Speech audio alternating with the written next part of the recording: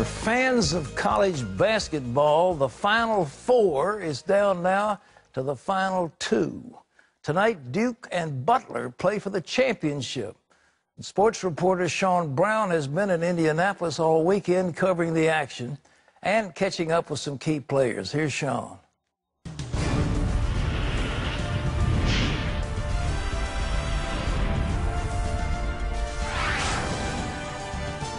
The first matchup, Butler, Michigan State.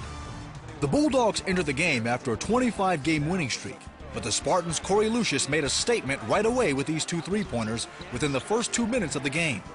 But Butler's Gordon Hayward answers with two of his own. They would go into the half tied at 28. Late in the second, with the Bulldogs up by three, Ronald Nored makes a steal which leads to two freebies for Shawn Vanzant, who misses the first and makes the second. Then with eight seconds left in the game, Ronald Nored gets this defensive rebound and is fouled. He heads to the line. Both shots are good, and the Bulldogs are headed to their first NCAA championship game in the school's history. Second matchup, West Virginia, Duke. It was Duke, Duke, and more Duke. The Mountaineers tried to make a comeback but went into the half down by eight. Later in the half, the Mountaineers made a valiant effort, but when their star guard Da'Sean Butler goes down with a knee injury, Duke continued to close the deal and are headed into the final against Butler.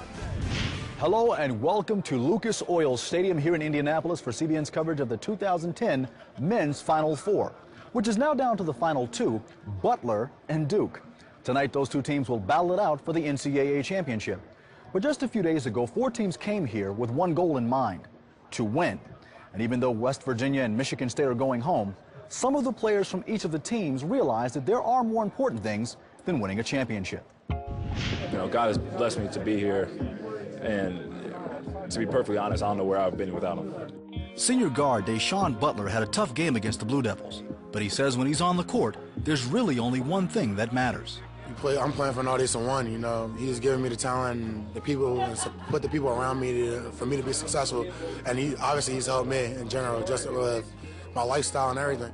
Junior guard Joe Mazzulla has had some trials on and off the court, and he says his faith in God is what keeps him grounded.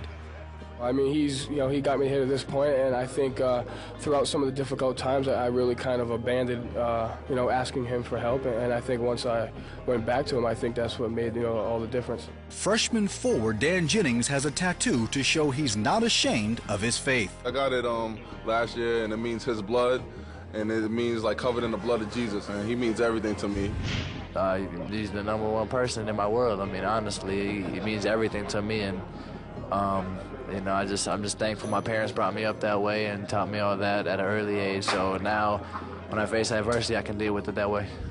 The Butler Bulldogs made history by advancing to their first championship game in the school's history. And the big reason for their success is sophomore guard Gordon Hayward, who led the team in scoring with 19 points. And he says that his faith is what helps him deal with the pressure of it all. If you if you play for him and play for the for the right reasons, then there's really nothing to be worried about. No pressure on us. So, um, and definitely no pressure on me. Just go out there and play the game that I love and um, just try to glorify his name. Ronald Nored made some big free throws during Saturday night's game, and he says that when people see him on the court, he hopes they see more than just a basketball player. I hope that they see Jesus in me. I really do. I hope that they see, you know, a guy who's having fun, who's loving life, and you know, who's just extremely blessed to be in this opportunity. Uh, he's everything. Uh, you know, I think, you know, my life is, you know, trying to walk in his footsteps and what he's done. Um, you know, the way that I handle myself with the team. Um, you know, I, I've sacrificed myself for this team because that's what he did for everyone else. It's been six seasons since the Blue Devils have been in a Final Four.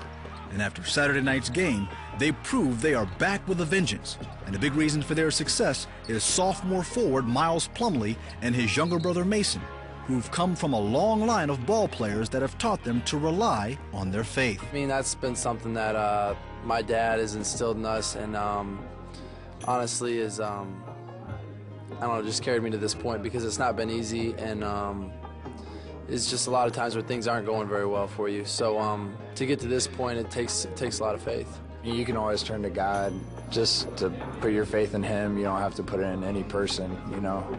Sophomore guard Seth Curry is redshirting this season after transferring from a different school.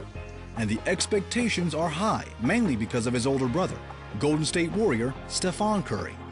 And he says when he's on the court, he hopes to bring glory to God. I mean, it means a lot. So that's, that's why I play the game, just because God gave me this uh, ability to go out and play basketball, so I try to maximize that to the most and give him the glory for everything I do. I mean, basketball is only one part of my life, small part, but that's temporary. And I mean, a relationship with Jesus Christ will last you forever.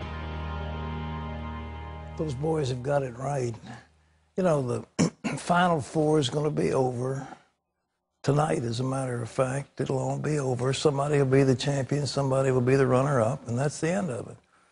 They can maybe get a ring or get a plaque or get something, but that's it.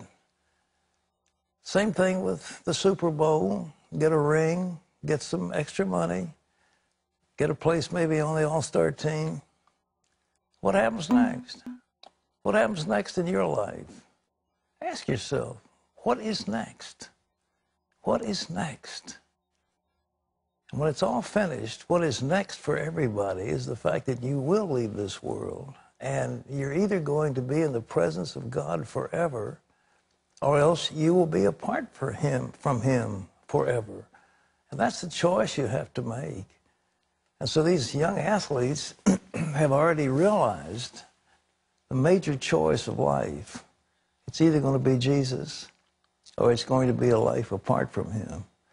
Now, if you want to know for a certainty what's going to happen to you next, I want you to pray with me and let the Lord take over. If He's got control of your life and you've surrendered it to Him, then good things are going to happen because He is in charge. I want you to bow your head right now. I want you to pray with me if you don't know Him. And let's let Jesus take over. Pray these words Jesus, I love you, Lord.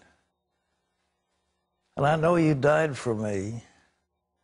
And right now, I surrender my life to you. I believe you died on the cross. I believe you rose again.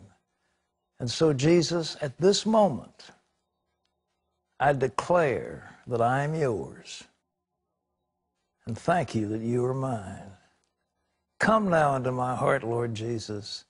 Live your life in me and I will live for you, and I will serve you all the days of my life.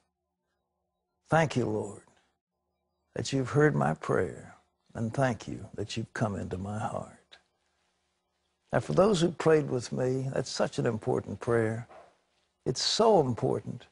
And I want to do something for you. I want to help establish you in the Lord as you start out so you say, well, what's next? What does it mean, what I've just, just done? What does it mean? And what's going to happen next for me and the Lord?